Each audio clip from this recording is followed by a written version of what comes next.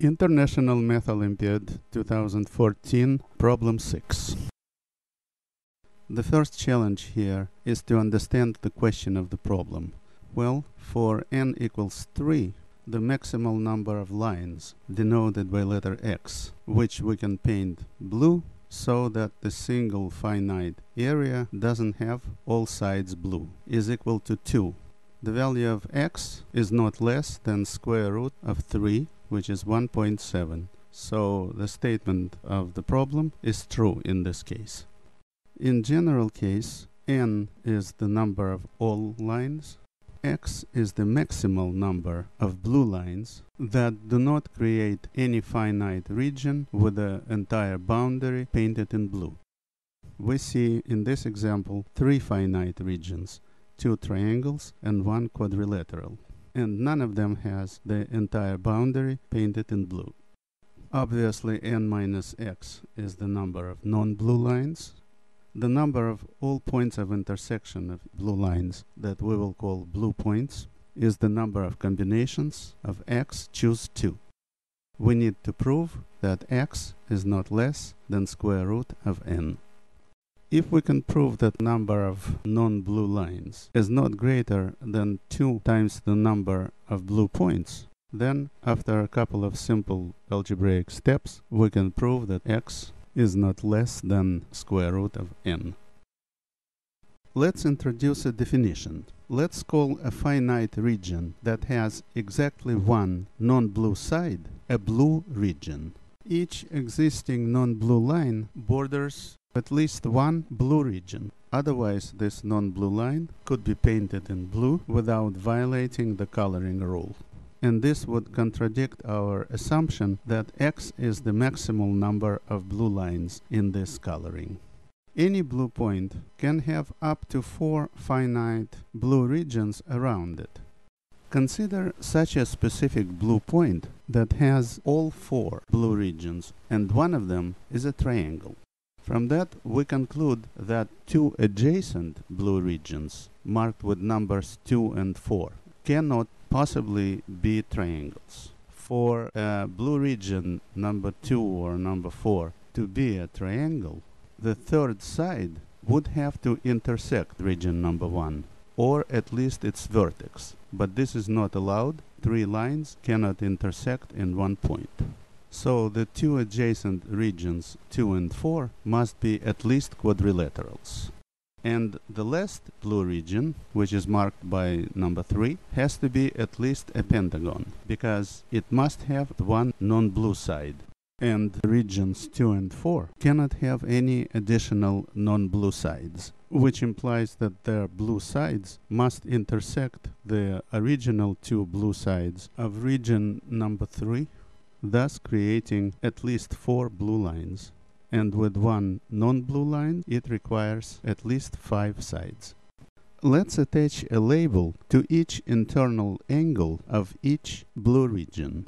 Suppose that a blue region has k vertices. We know that exactly two of those k vertices lie on a non-blue line. Then the number of blue angles inside each blue region is k minus 2. The labels have values that are defined by the following rule. The two non-blue angles have labels with 0 and the other k minus 2 labels. Each has a value 1 divided by k minus 2 so that the sum of all internal labels in each blue region is equal to 1 which gives us one method of counting the total number of blue regions. It's the total number of all labels in the entire coloring. On the other hand, if we sum up all labels around each blue point and then add them up in the entire coloring, then their total will be the same total number of blue regions. It's just a different method of counting it. We can easily prove that in this type of a blue point, which has all four regions around it, and one of these four regions is a triangle, the total number of labels around it can come up to 7 thirds. Since the single blue angle in a triangle is 1, each of the adjacent blue regions are at least quadrilaterals, so the blue angles in them can come up to mm-hmm. one half each, and the fourth region is at least pentagon, whose any blue angle can have maximum one third. Therefore, let's call such special blue point a big point. Let's prove that all other blue points that don't meet the requirements of a big point have the sum of all labels around it not greater than 2, and that's why we will call them small points. In one case, we have two triangles in two opposite angles of a blue point. Note that in such case, this blue point cannot have any more blue regions in the adjacent angles, because in this case, such a region would either intersect these two triangles or their vertices, or it would have two non-blue lines which doesn't meet the definition of a blue region that must have only one non-blue side. So the sum of all labels around such blue point is equal to 2. The next case is a blue point with at most one triangular region and at most two other regions so that the sum of all labels around such a blue point cannot exceed 2. It can only be 1 plus 2 times 1 half. And the last possible case is a blue point with no triangular blue regions around it. For such point, the total of all labels around it is maximum 2 because each of the surrounding angles can have maximum 1 half label. So we have proved that if we add up all the labels of all the big points and small points, that is all the blue points in this coloring, we will get maximum 2 times the number of small points and 7 thirds times the number of all big points which proves that the number of all blue regions in this coloring doesn't exceed 2 times number of small points plus 7 thirds number of big points. Let's also recall the relationship between blue regions and non-blue lines. Each blue region has its only non-blue side on exactly one non-blue line, while one non-blue line may have multiple blue regions that have their sides on that line. Therefore, the number of non-blue lines is less than or equal to the number of all blue regions from which we conclude that number of all non-blue lines does not exceed 2 times the number of small points plus 7 thirds times the number of big points.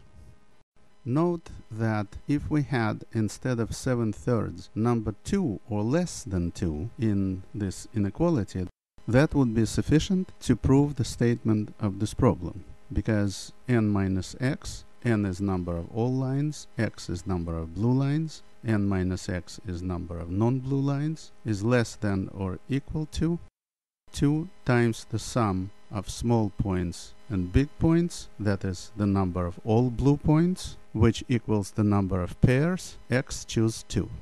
So this extra one-third of the number of big points is still in the way in our effort to prove the statement of this problem. Let's write n minus x, the number of all non-blue lines, as the sum of n1, which is the number of all non-blue lines that border at least one triangle of a big point, and number n2 of all other non-blue lines that do not border any such triangles.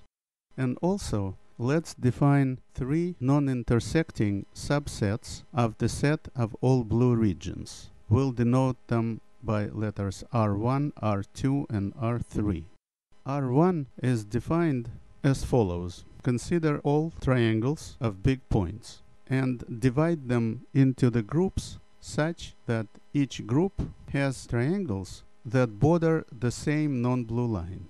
And then from each such group, we'll select exactly one triangular blue region, which will form the subset R1 so that number of these triangular blue regions in the subset R1 equals exactly N1.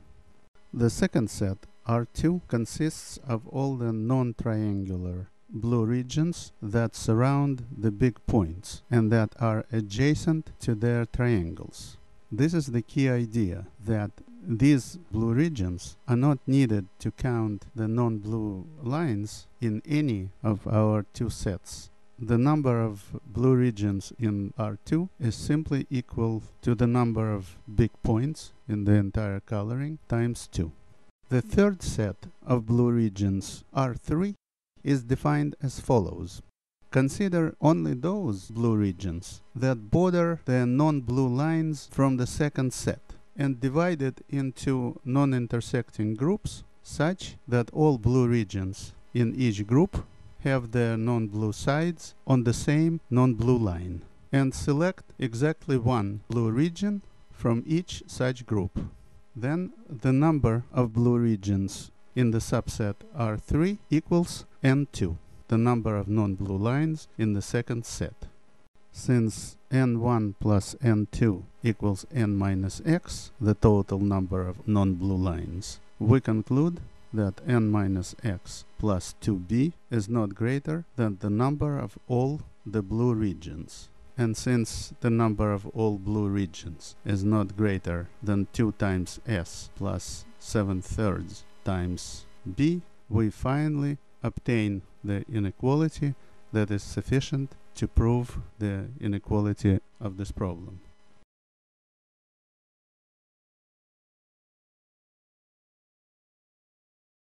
We're done. For n equals 4, we could paint three lines blue. If we could prove it, then for n equals 4, c that is mentioned in this problem would be 1.5. But in this video, we have proved only the basic statement, in which c is equal to 1.